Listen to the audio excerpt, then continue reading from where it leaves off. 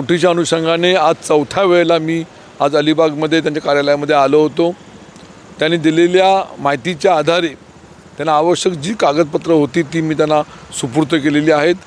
अजून चौकशी ही सुरूच आहे आणि पुन्हा एकदा त्यांचं समाधान काय होत नाही संपूर्ण परिस्थितीमध्ये आणि त्यांना आत्ता अजून जी माहिती पाहिजे ती एक किंवा दोन तारखेदरम्यान आम्ही आणून देणार आहोत.